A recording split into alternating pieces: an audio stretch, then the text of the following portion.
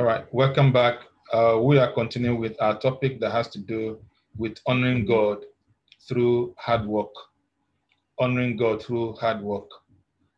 And uh, we're meant to understand using the scripture in um, John chapter 5 that uh, Jesus Christ said that uh, right from the beginning up till now, that his Father means God has been working, and so himself has been working. And he said that whatever he goes to prayer to see what the Father is doing, and he comes out to do the same thing. So he never did anything except what he saw. And uh, we have also been meant to understand that uh, uh, we go uh, to prayers, we go to church, we come for a service like this, wherever we go to to hear the voice of the Lord, or when we are reading the Bible, that what we are what we are doing is receiving inf information, instruction, inspiration from God, and uh, our duty is to activate, put it to work. While we are doing that, we are honoring God. But if we are not doing that, that means we are not honoring God. Uh, uh, I think I think it's good I finish this uh, scripture. Um, let's see, 20 says, 20 of that um, John, he said, for the Father dearly loves the Son and shows him everything that he himself is doing. And the Father will show him greater works than this, so that you will be filled with wonder. 21, just as the Father raises the dead and gives them life and allows them to live on it, so the Son also gives life to whom he wishes. 22, for the Father judges not, judges no one, but has given all judgment. That is the pro, uh, prerogative of judging to the Son, placing it entirely into his hands, so that all, listen to this, so that all will give honor, reverence, homage to the Son, just as they give honor to the Father. In fact, the one who does not honor the Son does not honor the Father who has sent him. Now, honoring the Father here or honoring the Son doesn't only mean for us to go in a place of prayer or go to church. It has a lot to do with work. You walk by faith, you also walk, you, you also act uh, by physical, bringing it to pass. And like I said, that there's no faith that does not have substance. Any faith without substance is not useful on this earth. It is only useful in heaven. And as long as it's heaven, there's no need for there's no need for faith. Every anointing that does not have a substance or an evidence is no anointing at all.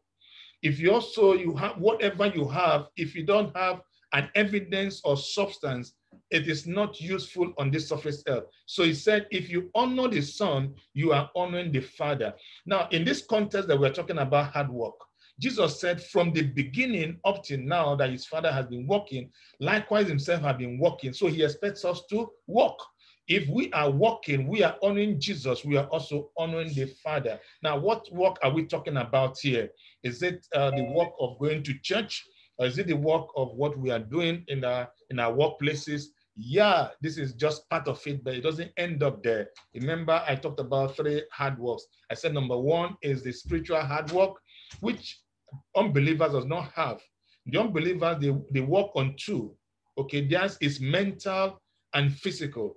But even at mental and physical, they are being successful, they are doing great.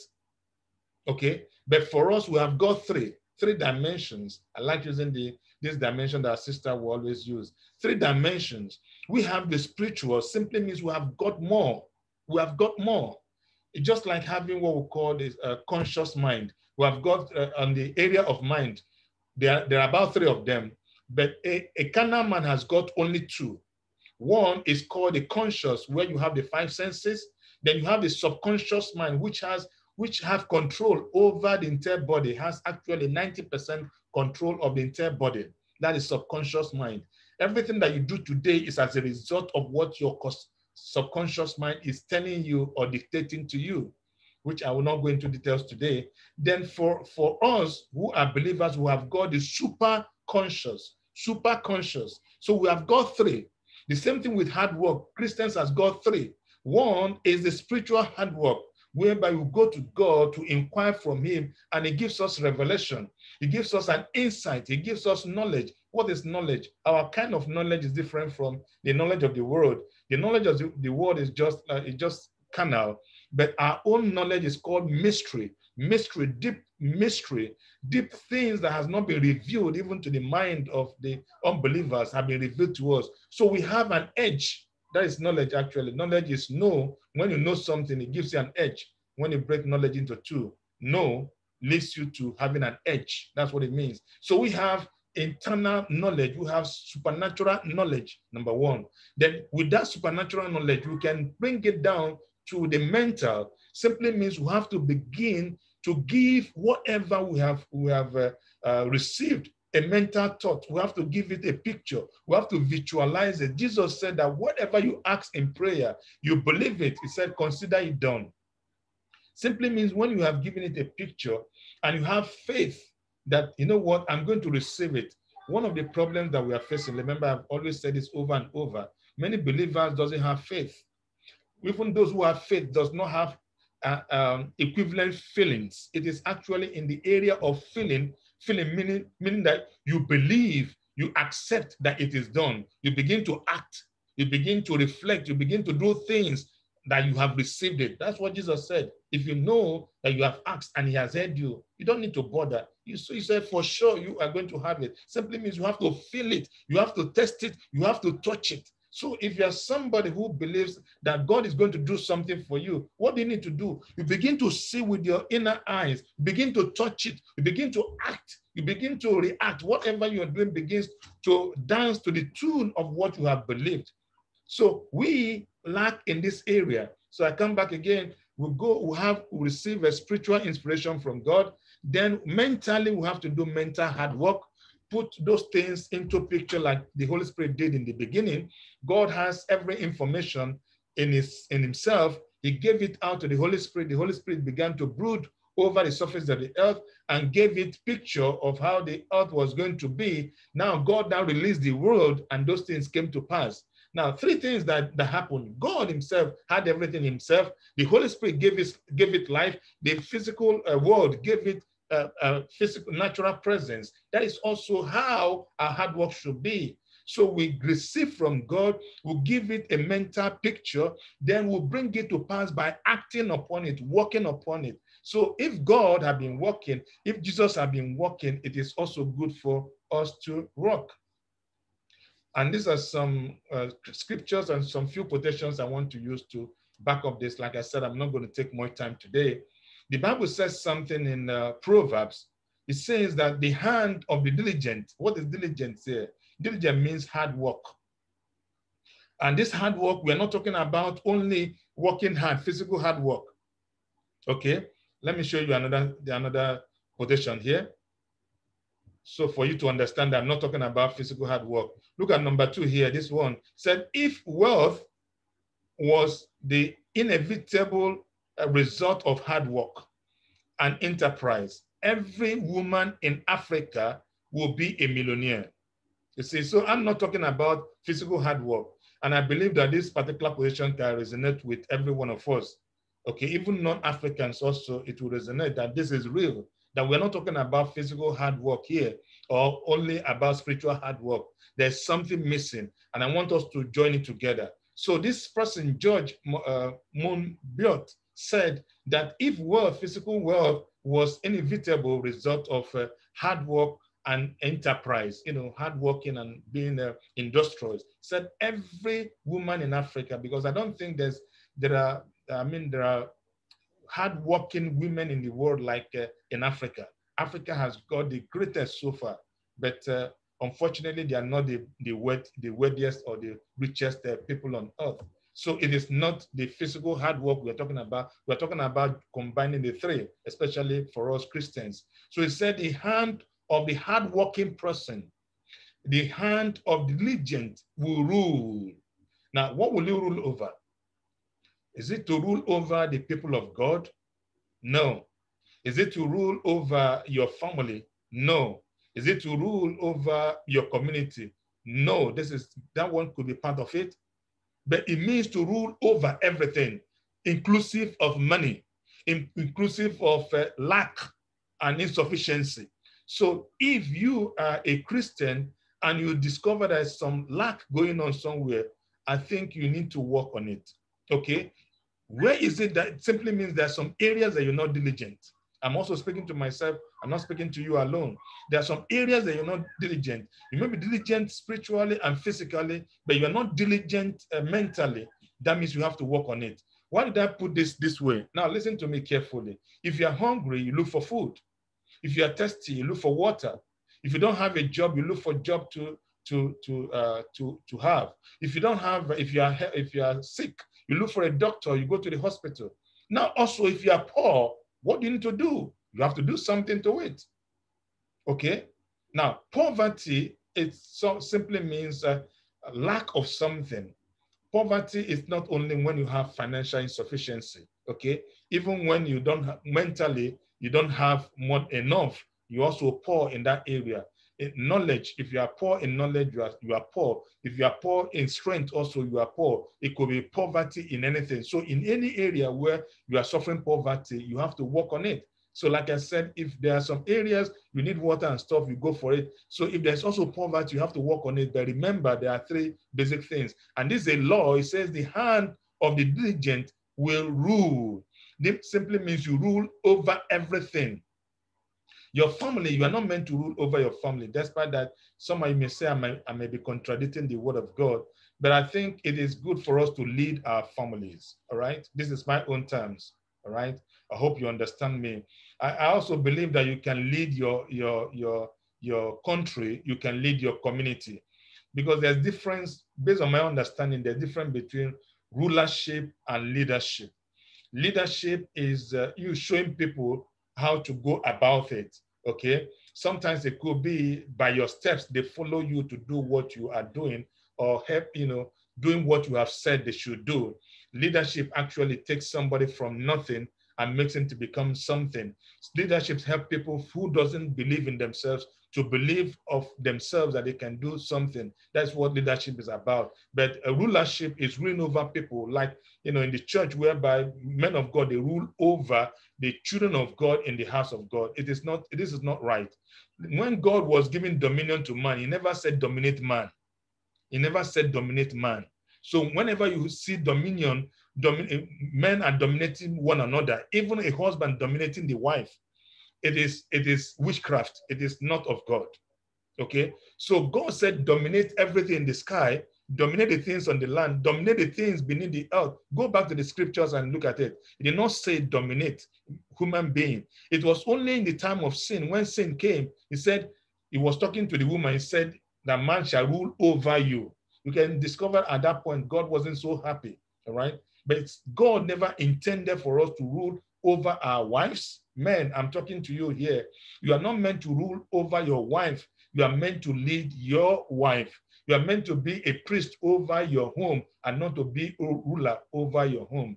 Okay? A ruler is just like a boss. Do what I say you should do, not teaching your, the student or disciple on how to go about it. So God does not want us to be uh, uh, uh, boss, bosses, but He said in this particular area, He said, You shall rule over.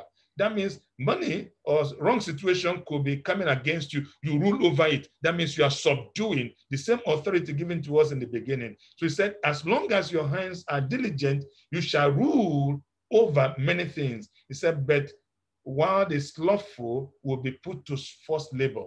You see that? You see, many of us are in forced labor. Why? The answer is here. Okay, you can say the answer is here. The reason why we are put in forced labor is because our hands are non-diligent enough. You may say, but I work, I work 12, 12 hours, 18 hours in a day. That is forced labor. That is physical hard work we are, you are talking about. You have not made, you have not taken advantage of your mental work, hard work. Many of you also have not even made, taken advantage of your spiritual hard work. So spiritual hard work, mental hard work, and physical hard work, they work together. Proverbs 22, 29 said, Do you see a man skillful in his work? He will serve before kings. He will not serve before obscure men. Same thing, skilled, skills. Skills actually is not more of your hands. It's about what you have inside of you, the knowledge that you have acquired. It goes into the brain or into the mind, and you begin to act upon it. So he said, a man that is skillful in his work. Now, this work, spiritual, physical, and, and uh, mental, three of them. If you are skillful in your spiritual, mental, and physical work, he says that you shall serve simply means you shall appear, you shall rule together with kings. You know, you become influential. Um, if you read the account of uh, of Usain, Usain Bolt, this guy he makes only nine nine um, I think nine seconds um, uh, uh, race and he makes millions. Now consider the number of seconds that this guy has made and look at the amount of money he has made. When you look at the amount of money he has made divided by the number of of uh, minutes that he has covered, you discover that this guy was making maybe millions or thousands of uh, dollars in just a second. So what is that? Okay, you may say, okay, this is just physical. This guy wasn't working physical alone. He worked mentally. Before he was able to be the Olympian or the, uh, the gold medalist, he actually saw it in his mind. Many of them, they saw this in their mind. And remember, I said the unbelievers, they work both ways, mentally and physically. And he was able to achieve this feat. How about you if you're able to work three ways, spiritually, mentally, and physically? You can imagine where you're going to get to. The next one is Proverbs chapter 10, verse 4. It says, A slack hand causes poverty, but the hand of the diligent make rich or makes rich. Still the same thing that we're talking about. Okay? Diligence, hard work, spiritual, physical, and uh, mental. And it says the lazy person claims there's a lion on the street. Yes, I'm sure. And he lies down and says, No, no, no, this is not possible. Oh, no, no, no. Uh, uh, what do you call it? Um, money is the root of all evil. Ah, Jesus said it is difficult for a rich man to enter into the kingdom of God. So I want to enter into the kingdom of God. For that reason, I'm not going to work hard. No, no, no, no. I don't need money. But you are working for, you are being under forced labor. You are doing minor job whereby you are paid just nothing that, that you can't even survive with. And you're telling me uh, money is the root of all evil. Listen, brethren, money is the root of all evil when you place it above God and above human beings. Inclusive of everything, you are all everything about you is about money, okay? And you don't care about how others feels or what God is saying. That is when it becomes the root of all evil. But money itself, money actually is a piece of paper. Is a piece of paper that's processed, and there's some chemicals and some stuff that have been added to it that's money itself, okay? It's just space. So this money is not evil, but it is the attitude that we put towards this money that is evil. Gold is not evil. If you pick up gold from the ground, will you say it's evil? It's not everything that God created, none is evil. As far as I'm concerned, there's nothing that God saw everything and said everything was good. But it is our attitude towards money that is the root of all evil. And I can also add to this that poverty actually is the main cause of all evil. So if riches above God, above human being is root of all evil, poverty also is the root of all evil. Why do you think that men of God come up with lying, cheating in the church? It's just poverty mindset. Why is it that you see people going to steal, to kill? It's because of poverty mindset. It's a, it's, it's, it's a mental disease. It is because of poverty. So poverty is, is not holiness. There's no virtue in poverty. So you have to liberate yourself. For you to be, for you to be a blessing to others, really, you have to you have to have it. There's nothing wrong in making money, brethren. You have to go for it. Abraham was a hardworking guy. Abraham was a businessman. He was a businessman from his father's place. He came to he came to Canaan. Things didn't work out you know, in the next 10, uh, 10 years, now he bought into the, the program of the, of, of the wife and had Isaac. Now remember, the same business mentality, he used it when he got to Pharaoh and when he got to uh, uh, uh, uh Abimelech, all right? he, he told he told a lie and said, "Oh, you know what? You can. This is not my wife. Just said that you are not my wife. You are just, we are we are, we are you are my sister." At the end of the day, the Bible said because of that, he said Abraham was blessed. Go back and read that scripture. Pharaoh gave him a lot. He gave him camels and all that and all that. He said, For you, I give you this. For your sister as well, I give you this. So he came back loaded. The second time, the same thing. Just remember, uh, Abraham will consider more of the faith of a thing, but when you look at the negative part of him, he's not, he's not a perfect human being. Likewise, I'm not perfect. But nevertheless, it is the, um, the, the, the faith aspect that we are looking at. So he was an industrious guy. He worked so hard. How about uh, Isaac? Isaac wanted to do what his father did when there was famine in the land. But this guy was hardworking. He learned from his father. You can see Abraham learned from God. Isaac learned from his father. He was hardworking. He was never told on what to sow. You know, pastors will say uh, uh, Isaac sowed in the time of famine and uh, he received a hundredfold and all that and all that. What did he sow? It was his work. He was a farmer. He sowed seed but because of the favor of God, he reaped harvest. He didn't go sowing money. I'm not telling you don't give money, but it is not about the money. The money that you give will only give you a favor, an open door opportunity for you to work and make money. That money cannot give you anything in return as physical. You see, it has gotten to trade by barter. You give this money, you have this. No, no, no, it doesn't work like that. It is not true. When you give that money because you are obeying the word of God, opportunities comes, ideas will come. That is when the open heaven comes. Money will not throw, will not be thrown down to you from anywhere. Don't buy into any of those lies. If somebody will tell you, begin to see miracle money in your account, forget it. It's a lie. It's a scam. Want that money that you have given either to the man of God or to whomever as you are led, not manipulated because the one you are manipulated, I'm sorry, I don't think you're gonna you may receive anything on that. Okay, that's manipulation. But God knows how to reward you. But the one that you give freely in your heart, you know, this is the work of God. You are using to bless the work of God, to make sure the work of God goes. You are going to open doors will come, ideas will come, favor will come. It will only trigger opportunities for you to work and make extra money. But for you to see money in your pocket or money to just flow like that, it is not possible. It's it's it's it's scam. It is not it is not true. So we need to get this right. So it says that the lazy man will always tell you, you know what? There's a um, what lion out there. I'm sure it's not true. There's no lion anywhere you go for it. So Abraham was hardworking. Isaac was hardworking. What happened to Jacob? Jacob was hardworking as well. You see, throughout the, the, the trend, they were all hardworking and everything they worked for, they received. So we also need to work hard. Very important. Then this other one, this Proverb 26 14 says, As a door turns on its hinges, so does a sluggard on his bed. You know, you plan, okay, I'm going to wake up at seven o'clock. I'll pray by eight o'clock. I'll start I will do some, I'll program my day, how it's going to be. Then by 8.30, I'll go to work. After work, I come back, I'll do this. Now what happens? By 7.30, your, your, your alarm rings, you shut it down. Oh no, what, what, what, what? You wake up, you pick up your phone, you are checking uh, Instagram and what and what. No time, no time for God. You jump to work. No, you have not done your, your spiritual work. You have not hard work. You have not done your mental hard work, but you go straight you are doing your physical work. What happens? You are going to forced labor, forced labor.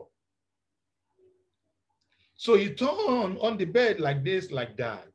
The same way the dog goes up, it closes. He said that's the way that the lazy man operates. Next one is there. This is this is somebody from a name, a name called Yoda. He said, uh, "Do or do not. There is no try." you know, there are two words that Christians has adapted to by the grace of God. When they tell you by the grace of God, just just for you to just for you to release them, it simply means excuse me. Okay, I don't want to continue with you in this. I, in short, I will not do it. Or somebody will tell you, I will try. You know, I've gotten to a point when somebody tells me I'll try, I tell you, please, don't tell me you will try. It's either you do it or you don't do it. Okay, it's as simple as that. I don't like that statement anymore tell me by the grace of God, I don't like that statement anymore. Okay, it's not that I don't believe in the grace of God. The grace of God is there already. Somebody also said this, a preacher said, what differentiates a man, distinguishes a man from the other, or successful man from the other? He says it is not miracle, it is not God's favor. He said it is not uh, grace. He said it is not luck. He said it is self-discipline, and I believe him. He's a preacher actually. Why? I'll tell you. Miracle doesn't happen always. It happens when you have exhausted your strength. That is how God made miracles to be. All right? Because Adam never enjoyed any miracle in the garden because he was working. Miracle is when you have exhausted. This is something that beats the law of nature. Okay? When you have exhausted your strength, the miracles happens. All right? You don't have money in the, in the house. You don't have anywhere to feed. Uh, what happens? Miracle happens. That's when you begin to expect miracles. But when you have money in your pocket, you're supposed to go out there, you have strength, you're supposed to go out there to go and work and make money. You don't go out there, forget it. There's no miracle. Forget it. Because God will not violate his word. Okay? So miracles doesn't happen always. It happens only for a reason. Luck also, it happens like that. Luck, I don't, we don't really believe in luck, but we believe in favor. Okay? Favor also comes to those who work hard. Okay? If you don't work hard, how do you expect favor? Favor is attracted. Then how about uh, uh, uh, grace? Grace is there. Grace simply means unmerited. What I have today is unmerited. What you have is unmerited. So it's all unmerited. It's out there for everybody. So if it's out there for everybody, its miracle also doesn't happen just like that, often to everybody. If luck also doesn't happen to people just like that, if uh, favor also doesn't just happen uh, just like that, simply means it is common to everyone. But the only thing that will differentiate you from the other person is self-discipline. That self-discipline does not go outside hard work. It is also hard work. Self-discipline actually is a mental hard work. So it's either you do it or you don't do it. Don't say, I'm going to try. Okay? And if you look at the word success, the second word is you, you. So bring in yourself there. Whatever, if you're successful, is about you. Okay? And whatever God has placed in your heart. If you're unsuccessful, it's also about you. If you want to influence people, it's about you. So it is better you develop yourself to be able to help others. How do you how do you help people? How do you love somebody if you don't love yourself? It's what you have that you can give. Then this other one says, you get what you work for, not what you wish for. You know, we we wish sometimes We prayers will pray and we say God has not heard. God has heard every prayer that we have made. God hears, but the point is that uh, He gives an answer at his at the right time when He wishes to do that. But if you're walking using the law, the first law that we, ha we have here, the hand of diligent will rule, and uh, the slothful is put under forced labor. Labor. Really, when you pray, when you wish, you have to walk. Okay, it is not something you just keep and leave it there. The last one is don't stop when you are tired Stop when you are done. I like the statement. You know, um, tired, getting tired is about mental, uh, it's mental work or mental tiredness. If you see those who are like uh, wrestlers or all that, you see them fighting. Some of them are bleeding. Some of them, their faces are blown up, but you still see them fighting. Why? It's because their mind is telling them you can defeat, you can succeed, you can do this, you can do that. So don't give up. Keep on working hard. All right. Uh, don't uh, don't stop until you you are done. I don't believe in retirement. I don't also believe that I'm going to retire. I believe that I'm going to finish my work. Jesus finished his work and left. The same way I'm going to finish my work and hand over to others. So I'm not going to retire. Then this other one, let me just finish with this. Opportunity is missed by most people because it is dressed in overalls and looks like work. An average African does not want to work or they don't want to hear hard work. They tell you that a day of favor is more than 10,000 years of labor. And that's the, that's the idea, that is the gospel that have been that have been sold to us and we are taking it. You can see it's not working. Okay, hard work is important. It comes most times, most of this success and all that, they come as overall, they are dressed in hard work. But a, a very few says it. And somebody said also that, you know what, if you want, uh, if you want to deny an African a secret, write it in a book. That's the truth. An African doesn't want to read. They don't want, they, they need the fi quick fix. If you give them quick, quick fix and it's money, bring money and you have it. they go for it. But if you tell them read it in the book, they tell you they will not read. Many of many of Africans don't read. But most of the secret that makes these people who they are, they are already in the book. Some are well-educated Africans, but they don't read. But that is where most of this is. Hard work beats talent. This I know. Hard work will never betray you. So it is good for us to work hard. Uh, if Jesus himself worked hard, if his uh, if uh, his father worked, and uh, he's telling us to work, it is good for us to work, working hard, making sure that uh, we become uh, a blessing to our generation and also generation to come.